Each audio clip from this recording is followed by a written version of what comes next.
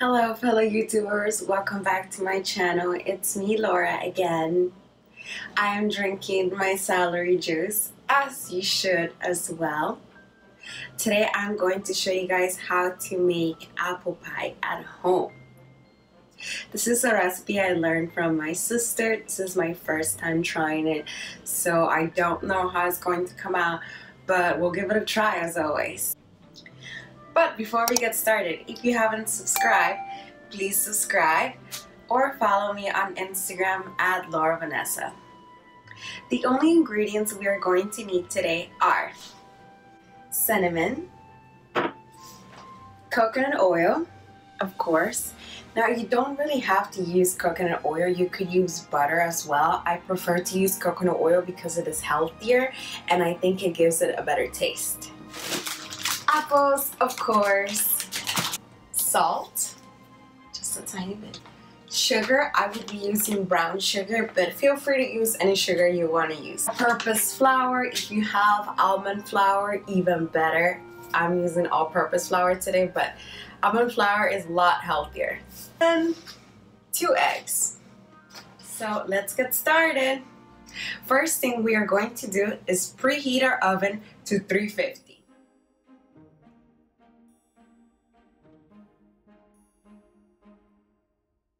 Our apples.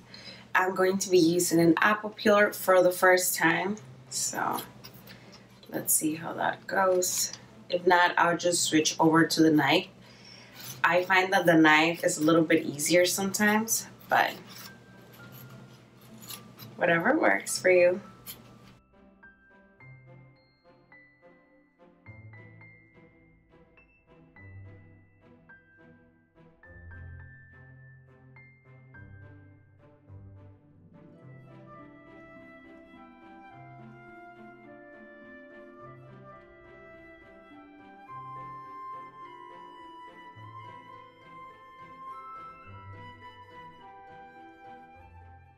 We are going to add one cup of flour to the bowl.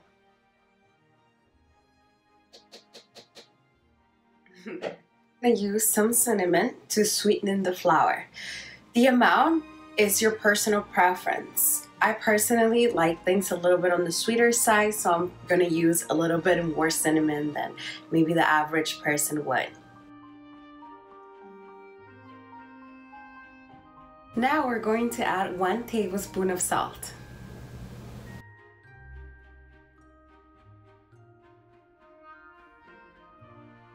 Next thing we're gonna do is we're gonna mix two eggs.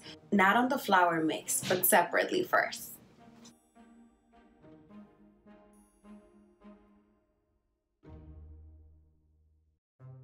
Whisk these eggs a lot.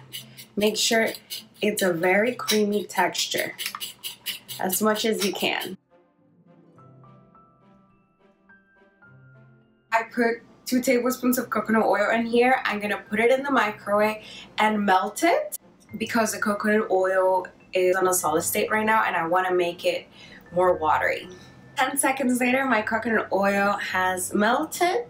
As you can see, it's very watery. I just put it in a shot glass so you would be able to tell the difference between solid state and when it's watery. So make sure you melt your butter if you're using butter before you put it in the egg mixture.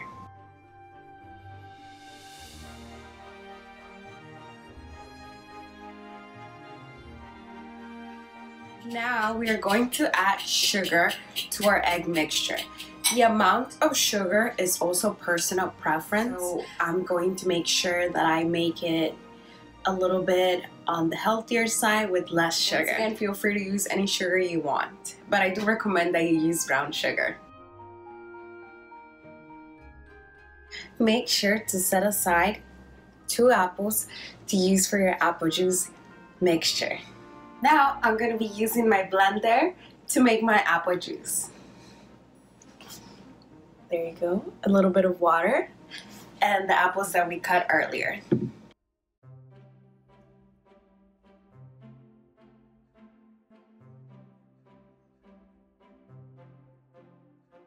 Now we are going to add our apple juice mixture into flour mix.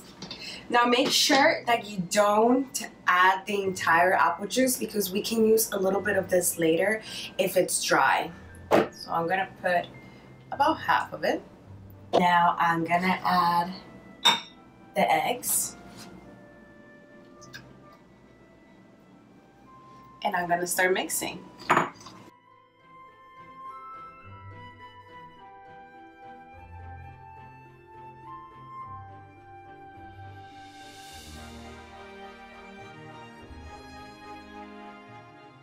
Now I'm gonna add a little bit more of the apple juice because my mixture is a little bit on the dry side. Feel free to add more sugar or cinnamon if you want to make it a little bit on the sweeter side. Now we're to put butter on our base to make sure that our cake doesn't stick. Now we are to add the mix into the base.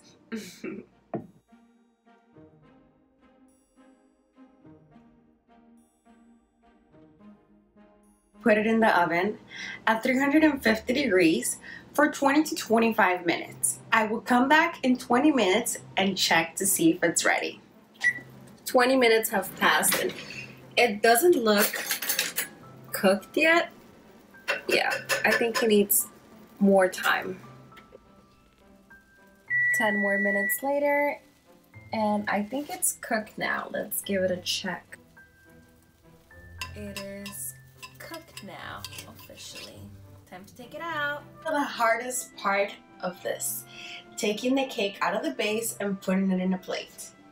I'm sure you guys remember what happens usually in my videos when I do this. There it goes. so good. I want to show you guys. Only one top part of the cake got a little bit stuck to the pan, but looks good. Let's try it out.